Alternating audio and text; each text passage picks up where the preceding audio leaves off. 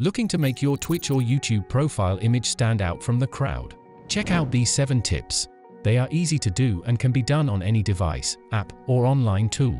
Capture people's attention to your profile by making your profile picture pop.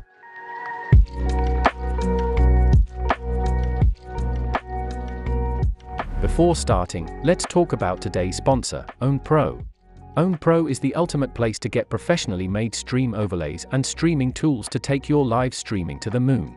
No matter what your niche is, OWN3D Pro got you covered. They have the most extensive and largest collection of a total of 600 plus premium stream overlays, packages, alerts, and more. Another thing, they also have copyright free music to choose from. So, ready to step up your live streaming career and stand out from the crowd, OWN3D Pro may be your place to go. Use the link in the description box below and use the code EMSQ at the checkout to get 50% off when you are ready to upgrade. Back to the video. Make it visible. The first tip will be the easiest. Make your profile image centered. I mean to say, keep the important part in the center and visible to others.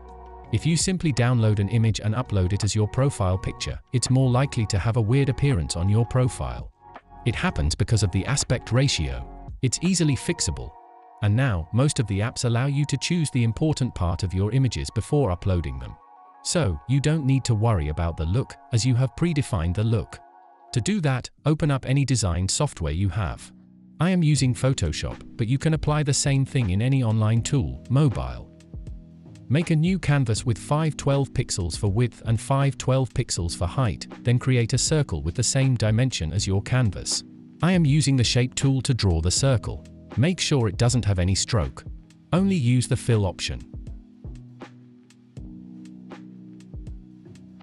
Place the circle in the middle of the canvas. You can easily do that with the alignment tool. Decrease the opacity and place it above the profile image.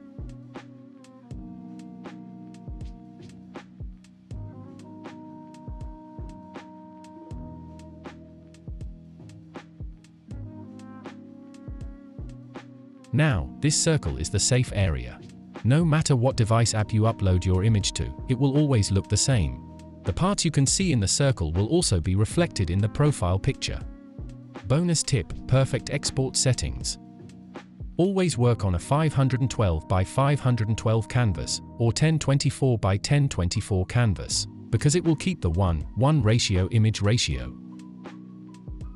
Also, I highly suggest choosing 2x when exporting the profile image. It will make sure you still have quality when it has been compressed.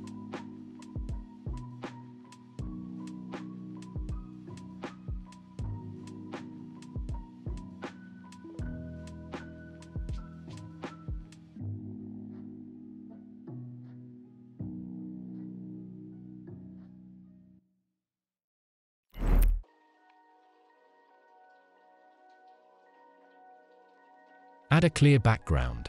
The next step is for those people who have downloaded a logo as PNG only without any background. In that case, if you upload the image or logo in the transparent format, in your profile image, it will have the default black or white color in the black. And it is possible your logo will not look good with a plain white or black background. So, make sure you have first put a color fill layer or add your background color. Then export the image. By doing that, the background color will remain there, and the profile image will look exactly what you want.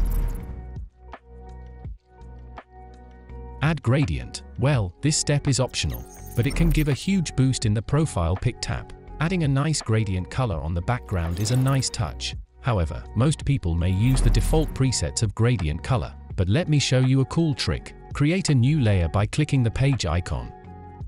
Then select a brush and keep the hardness value to 0%. Then pick some colors that match your background. Then draw something like this.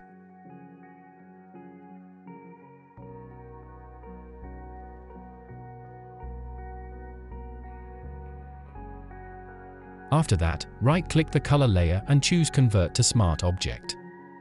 Then go to Filter and then add a Gaussian blur. Now you can see it has a nice smooth multicolor gradient. As this is a smart object, you can double-click the smart icon in the layer, and you can change the color or do more stuff here.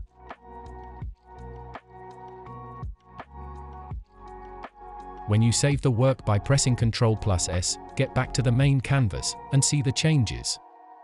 At last, to make it more awesome, you can add a noise filter as well.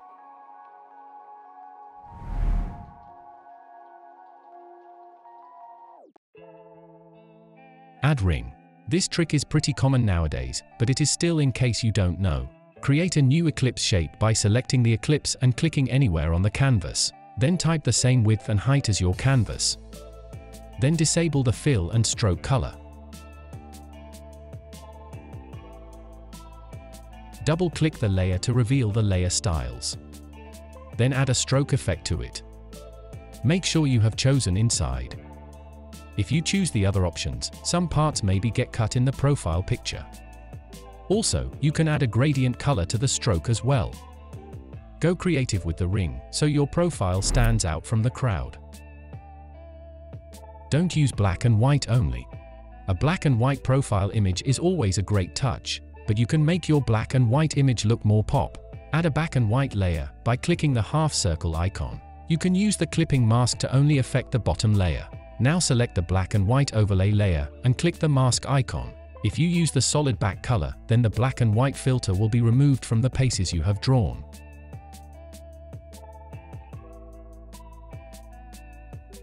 And if you use a completely white color brush, then it will again bring the black parts. It's a nice touch to make a certain thing pop. But most of the time, using it to pop your skin tons makes a huge difference. Put your face, not the entire frame. This is mostly happening with the newbies because I have previously made this mistake. Don't try to cover your entire body. For example, this profile image has covered most of the frame. But if I make it smaller than the normal size that we see in our devices, you can barely see what is happening here.